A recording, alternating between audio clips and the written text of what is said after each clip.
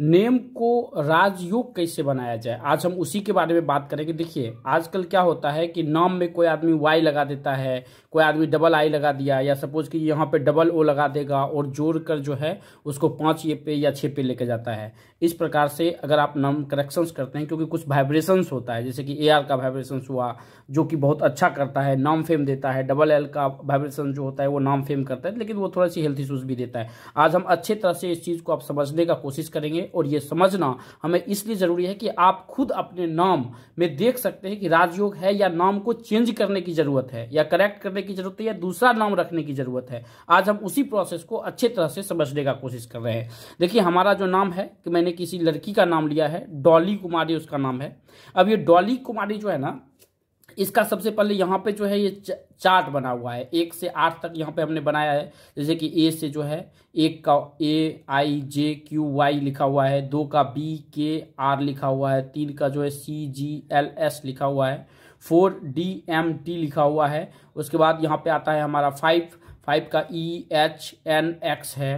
छः का यहाँ पे यू वी डब्ल्यू सेवन का ओ और जेड और एट का जो है एफ़ और पी ये हमने ये चीज़ लिखा है।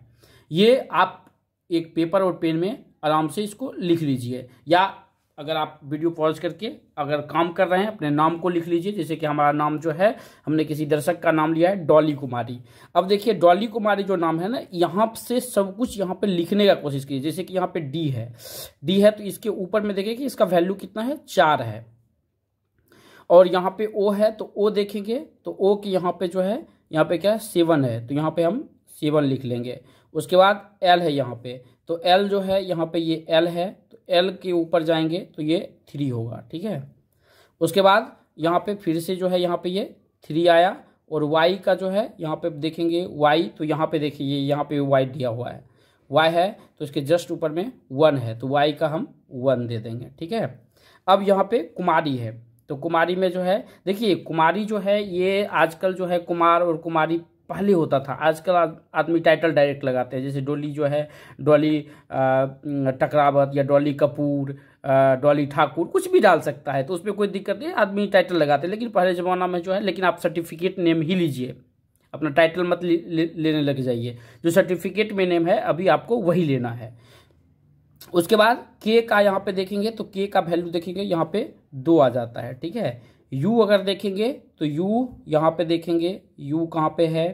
तो यू यहाँ पे देखेंगे यू यहाँ पे यू अगर देखें, यहाँ पे यू आ गया सिक्स उसके बाद एम एम आ गया फोर पे. यहाँ पे लिखा हुआ है फोर के सामने देखेंगे तो यहाँ पे एम आएगा आपको. फिर यहाँ पे ए आ गया तो एक ए के आगे क्या लिखा हुआ है? वन फिर जो है, यहाँ पे कितना है? आर आर के आगे क्या लिखा हुआ है? दो।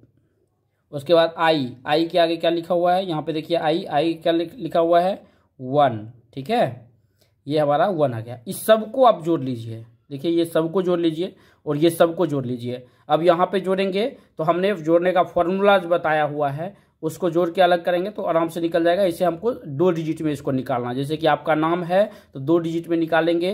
तो ये हमारा अगर इस सबको जोड़ते हैं तो ये हमारा आ जाएगा अट्ठारह तीन तीन छः एक सात सात सात चौदह और चौदह और चार अट्ठारह आप देख लीजिएगा कैलकुलेशन में गलती हुआ है तो आप करेक्ट कर लीजिए।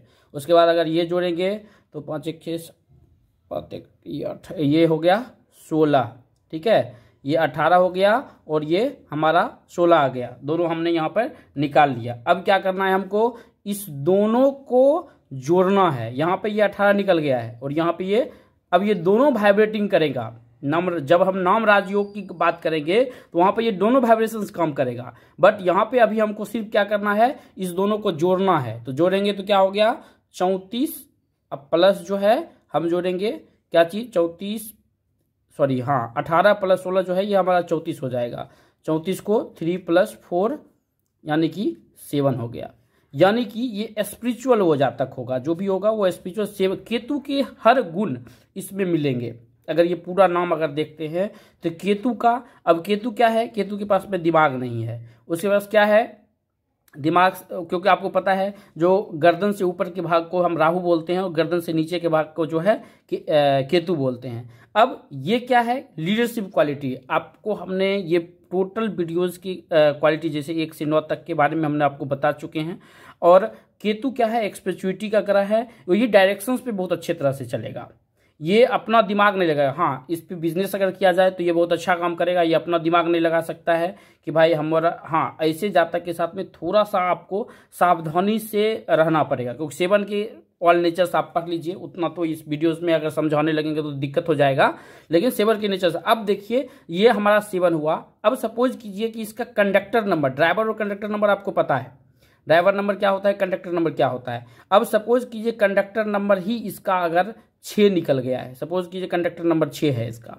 अब छः है या सपोज़ कीजिए कंडक्टर नंबर इसका जो है सात नंबर है। तो सात नंबर अगर इसका कंडक्टर नंबर निकल गया, अब कंडक्टर नंबर कैसे निकलता है? तो हम नेक्स्ट वीडियोज़ में आपको बताते हैं। जो आपको पूरा डेट ऑफ़ बर्थ होता है, उसको, उसका आगे का भाग थोड़ा सा हम इसको एक्सप्लेन कर लेते हैं। जैसे कि इस जातक का नाम बारह लिख देते हैं। बारह, पाँच, उन्नीस सौ पचासी में इसका जन्म हुआ, ठीक है? सपोज़ कीजिए। कि पचासी में इसका जन्म हुआ। अभी सबको, ये जो होता है, ये हमारा ड्राइवर नंबर होता है और ये टोटल को जब हम जोड़ते हैं तो वो कंडक्टर नंबर निकलता है। तो ड्राइवर नंबर जो है, यहाँ पे तीन होगा, लेकिन हम कंडक्ट यहाँ पे ड्राइवर और कंडक्टर दोनों की बात कर रहे हैं। यहाँ पे ड्राइवर सॉरी हो गया कंडक्टर नंबर ड्राइवर ये होता है तो टोटल जोड़ने के बाद जो कंडक्टर नंबर होता है कंडक्टर नंबर यहाँ पे छः निकला है और या सात निकला अब सात तो हमको कोई काम का नहीं है। और छः भी हमारा कोई काम का नहीं है। यहाँ पे जो है, क्योंकि सात ऑलरेडी निकल चुका है। अब इसका ग्रीड में देखेंगे कि इसको सात है कि नहीं है। तो ये ग्रीड का फॉर्मूला फिर अलग होता है। इसमें देखिए, जैसे कि ये राजयोग की बात करते हैं तो जैसे हम जो राजयोग फॉलो दोस्तों, अगर आप नमोलॉजी सीखना चाहते हैं, अगर आप पामेस्ट्री सीखना चाहते हैं, यदि आप कुंडली सीखना चाहते यदि आप वास्तु सीखना चाहते हैं